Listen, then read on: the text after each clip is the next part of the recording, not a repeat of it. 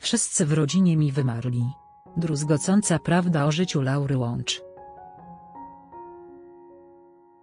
Laura Łącz zasłynęła rolą w serialu Klan. Okazuje się, że życie wyjątkowo ją doświadczyło.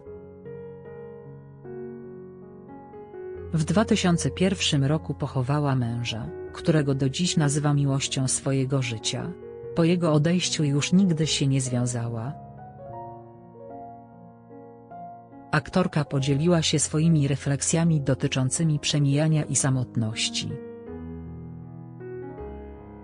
Laura Łączy była dwukrotnie mężatką.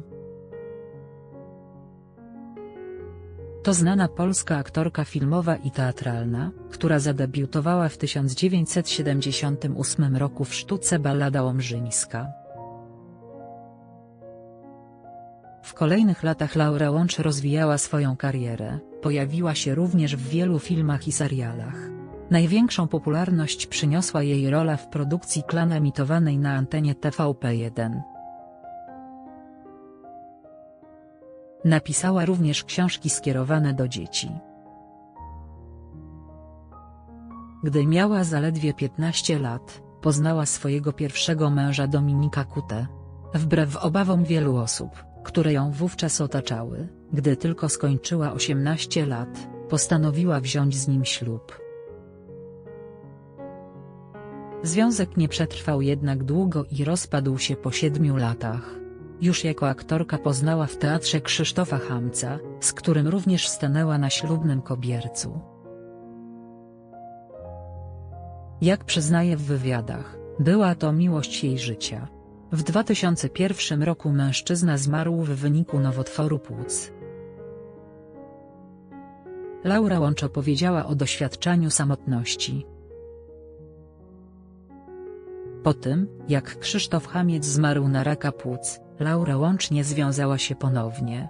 Jak podkreśla w wielu wywiadach, nie zamierzała tego robić. W rozmowie ze pacjentami zaznaczyła, że zarówno pierwsze, jak i drugie małżeństwo traktuje jako wielkie miłości. Owszem, spotkałam 10 lat po śmierci męża pewnego pana, który, tak jak cytując piosenkę Grzegorza Markowskiego wśród tandety lśnił jak diament, takim się wydawał. Wspaniały był po prostu. Nie dlatego, że bogaty, że wystrojony, broń Boże. Normalny człowiek. Ale o takiej psychice, że bardzo mi się podobał. I może w innej rzeczywistości i w innym życiu, jak to się mawia, pewnie bylibyśmy parą, ale to nie miało z wielu powodów sensu, mówiła Laura Łącz dla pacjentów. Jak przyznała w dalszej części rozmowy, wielokrotnie zdarzało jej się doświadczać samotności. Aktorka podkreśliła wtedy, że jej zdaniem najlepszą terapią po stracie kogoś bliskiego jest pasjonująca i pociągająca praca zawodowa. Jak Laura Łącz radzi sobie z upływem czasu. Aktorka poświęciła również nieco czasu na refleksję nad przemijaniem. Opowiedziała w wywiadzie, że choć nie czuje, że bardzo się zmieniła, to jednak zerkanie w lustro wywołuje w niej skrajne emocje. Odczuwa upływ czasu i próbuje mu przeciwdziałać na różne sposoby. Jak przyznała, korzysta z medycyny estetycznej w granicach rozsądku. Ojciec był człowiekiem rozrywkowym, wesołym, zdrowym fizycznie sportowcem. On był właśnie energetyczny, silny, wesoły i właściwie taki typowy luzak. Mama przeciwnie. Wielka dama, zdystansowana do świata i ludzi, ale bardzo poważna, bardzo odpowiedzialna i bardzo pracowita osoba, chociaż aktorka teatralna.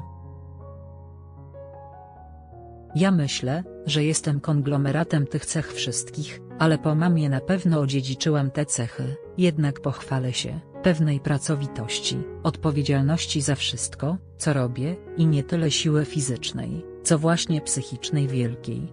Ja jestem człowiekiem, który się nie poddaje, ujawniła aktorka.